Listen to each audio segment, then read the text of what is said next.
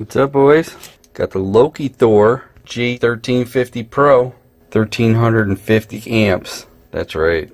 This has a LIFE PO4 battery, which is about five times the average life of a lead acid battery, double the life of a lithium ion battery, and it's much safer too.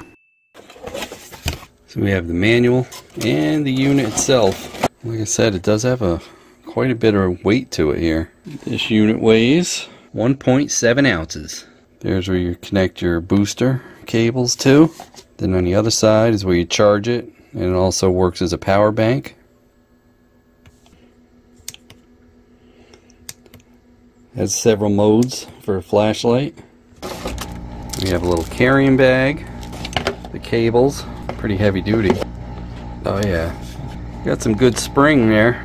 And we have a USB-C to USB-C cable and a USB-A to USB-C cable. And that's for input or output. Let's plug this in, let it charge up. I have a 10.2 watt charging brick. I also have a 100 watt charger USB-C. Let's see if this makes any difference.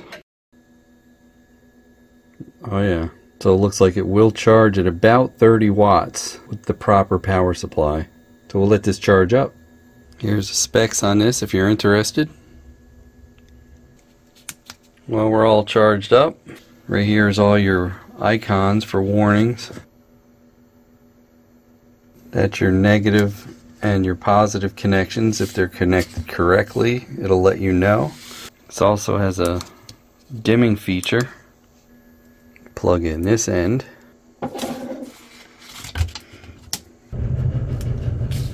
So this has reverse polarity protection. I'm to show you how that works. Hook it up wrong.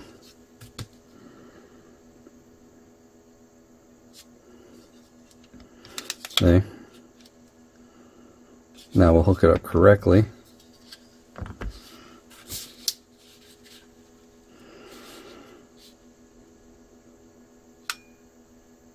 Has 5 volts in it. This is a low battery. Everything's green and it's actually boosting. Showing a countdown timer. Showing the voltage again. Have 4.8 volts. As you can see that meter jumped right up.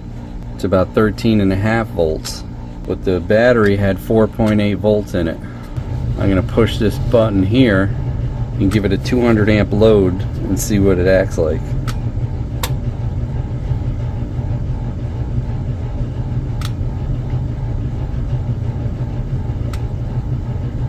Yeah, held it for a little while there.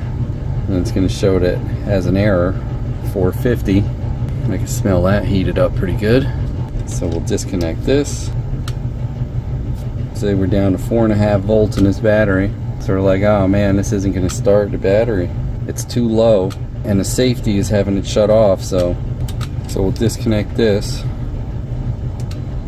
Hold this down for five seconds.